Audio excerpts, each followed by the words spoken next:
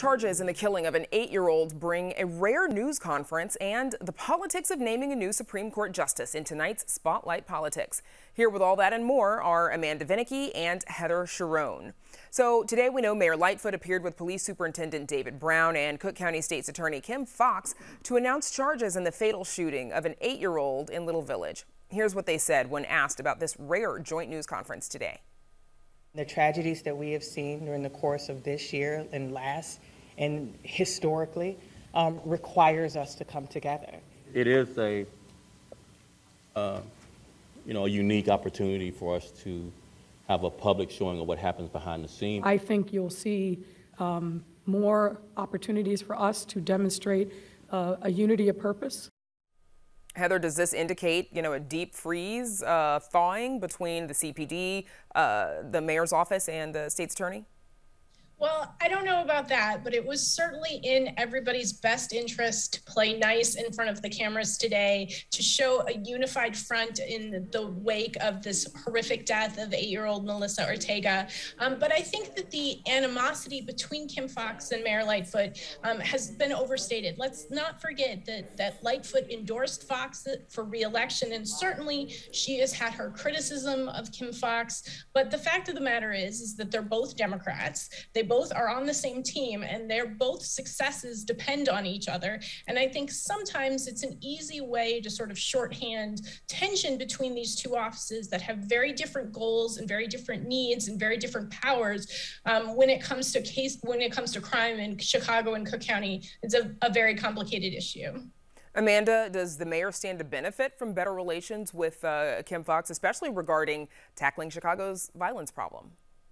Well, yes, if it comes to actually tackling the problem, if there is resolution, if crime goes down, if this leads to something, then yes, that would, of course, take aside politics for a heartbeat. That would be the best for all of Chicago. Of course, that is the goal that everybody wants politically, yeah, it would look good to get along. I, I, think there are some people, it is easy, of course, politically to have somebody to point a finger at. I, I, think Heather's right. Sometimes there's overblown tensions. Some of it, however, is very much, I think, real you you want something done and it, it, it isn't happening when it comes to crime and so yes i think the, the long and short of it is if they can come forward and show that they're working together that would make her look better as we just talked about she's gearing up for reelection now, Heather, we know today you covered city council meeting um, where Alderman Anthony Beale tried to get a lawyer to help uh, city council members. Explain why this was a contentious issue.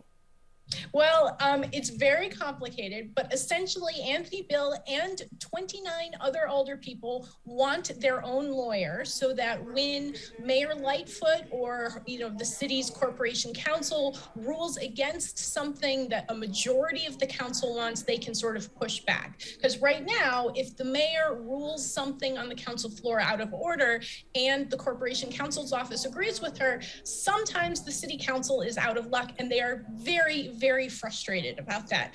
And I think today was a great example of the use of that sort of parliamentary procedure to prevent something from happening that the mayor doesn't want to happen. Now, she says she's in favor of the city council having their own lawyer. She just wants them to do it in a rational, thought out, comprehensive sort of way because the motion on the floor today didn't say how much this would cost. So some aldermen were reluctant to vote for it because they didn't want to put the city on a hook, on the hook for potentially, you know, more than $100,000 for a full-time staff person. So this is a debate that's going to come up, but for people who love Robert's Rules of Order, today was a banger day.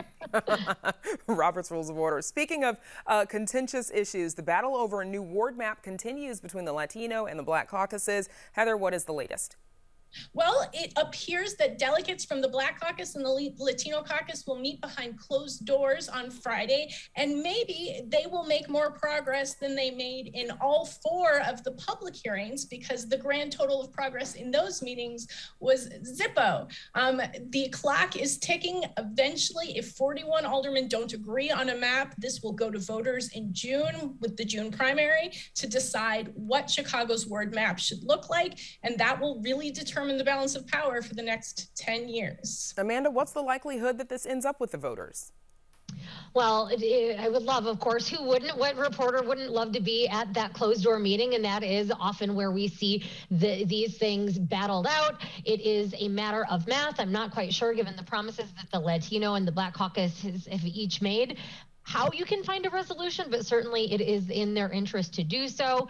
They still do have some time. I believe that the deadline to do this is sometime in May. So we, we are right now are freezing our fannies off, right? Maybe by the time the flowers are blooming again, they'll have worked it out.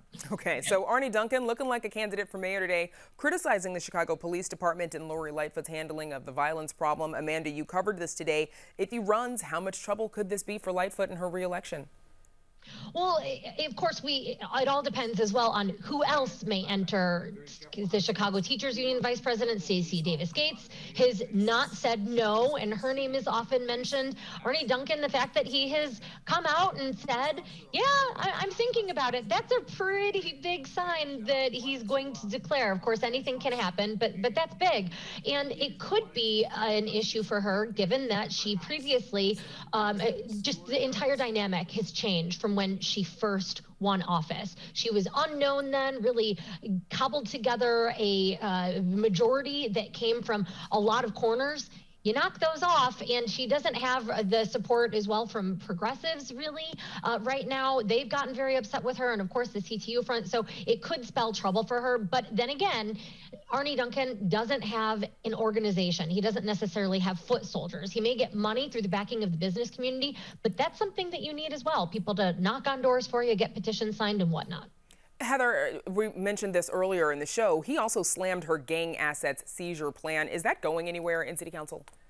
Well, that is a good question. And I am waiting to see whether the City Council's Public Safety Committee schedules a vote sometime in the next three weeks or so. The City Council meets again at the end of February, and they could take a vote on the measure at that time. He really echoed criticism from people like Cook County Public Defender Sharone Mitchell, who said this, this ordinance isn't going to do anything except target people who um, have family members who are in gangs and maybe share a car with them or share a home, and that they will find themselves in the crosshairs of this. But we heard Superintendent David Brown at that news conference this afternoon saying that this was a tool that the police department needed to to dismantle the gang, like the gangs involved in killing Melissa Ortega. And that is going to be a very powerful argument for aldermen who are staring down reelection in about a year and who want to at least be able to tell people, okay, maybe crime is still really bad, but we did everything we could think of to address it.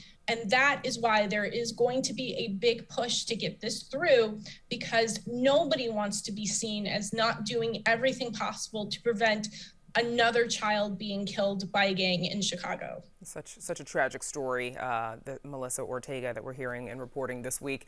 Um, so in national uh, news, a little bit of national politics, U.S. House of Representative Ethics Panel continues to review allegations against Congresswoman Marie Newman that uh, allegations that she offered a political rival a job to stay out of the election back in 2020. Uh, Heather, did Newman break the law? What's going on here? Well, she says she didn't. The House Ethics Panel says, well, maybe there's evidence that you did. And of course, this all involves, um, you know, her before the 2020 election working with a, you know, potential future rival and sort of coming to an agreement where perhaps she would give him a job and then move forward. And you can't do that. You can't offer things like that. It's against the law.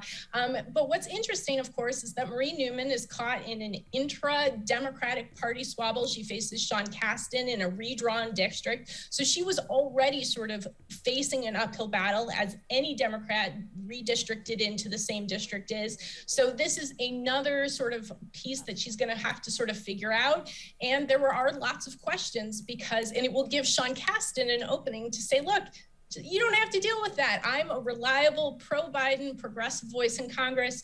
Let's just move along here. All right. So, uh, some of Illinois' wealthiest residents they are ponying up the cash for Richard Irvin's gubernatorial gubernatorial run, including a television ad campaign that launched this week. Amanda, uh, is this campaign ad stretching the truth? So the issue in the campaign ad is that Richard Irvin says that he called in the National Guard, that Chicago didn't do anything when there was unrest, when there was looting. We, we covered it in Aurora as well as the city of Chicago, when in fact, the only person who can actually activate the National Guard is the governor of Illinois. Granted, that may well have come at the request of a mayor, for example, somebody like Richard Irvin. So um, it is certainly stretching the truth there. That is what these campaign ads do. The difficulty right now is that Reporters haven't had the opportunity to ask him directly. He's up on air, commercials, had a very lengthy bio introduction uh, that came out digitally, but has not at this point in time held any sort of press conference or one on one interviews with journalists that will be covering this race who really want to ask questions such as that. And Heather, you've done some reporting on this as well. Not the first time you've seen ads stretch the truth? Sure. Um, you know, Richard Irvin is clearly addressing people who are worried about crime, and this plays into his sort of tough on crime approach. The problem is, is that I think it's really important that we know exactly what powers a mayor and a governor has, especially, especially something so fraught with Chicago um, and the National Guard. The other thing I want to mention is that his rhetoric really echoes Ken Griffin, Illinois' uh, you know richest person, the the owner of Citadel Hedge Fund. And he was also very critical of the way Governor J.B. Pritzker has responded to the surge in crime. So that's part of this as well. And we're all waiting to see what Ken Griffin does.